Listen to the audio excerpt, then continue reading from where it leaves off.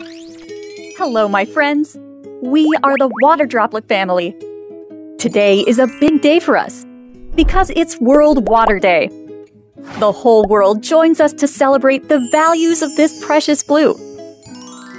Tiny and soft as we water droplets are, together, we claim as our home 71% of the surface area of planet Earth.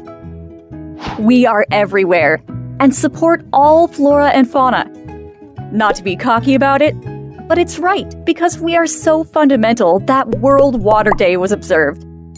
This day is also a momentous occasion to review progress toward achieving the Sustainable Development Goals, particularly SDG 6. SDG 6 is about ensuring clean water and sanitation for all. Besides, water is a critical linchpin to all other goals we envision good health and well being, climate action, affordable and clean energy, etc. As we water droplets see it, we must have the youth see what we see. Their attitude toward water will largely determine if our visions for a better world are within reach at all. The Water Education English series are written precisely to win the youth on our side. I can't speak for you, but Drake and Daisy are so loving it. Fun is what you will have in abundance from the books. Unscramble water related words.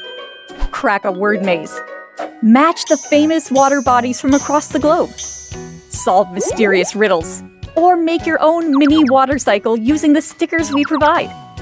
Kids love rhymes and songs. And frankly, so do we adults.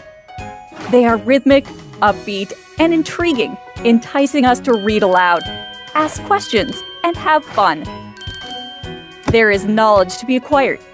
Dig into the neat structure of water molecules and learn how it contributes to water's valuable properties surface tension, capillarity, and density change. Learn about the indigenous water projects of proud histories. Finally, follow Grandpa Droplet on a world tour. He is a travel bug, and he knows where the stunning water beauties are. We want the children to feel inspired by what a water future may look like.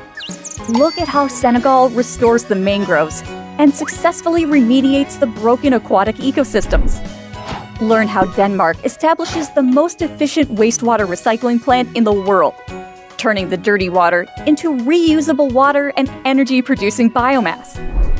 Just don't have enough water falling from the sky? How about towing some icebergs? Or seeding artificial clouds up high? The books also scratch the itchiness of curious hands. Challenge yourselves with loads of science experiments and field excursions. Some experiments offer quality time between children and their parents. Spending a whole afternoon constructing a drip irrigation system and getting proud of going water smart at home. Oops, sorry, spoiler alert. Let me stop here and officially introduce the books to you. Take a stroll inside the books. You will enjoy it. Bye bye.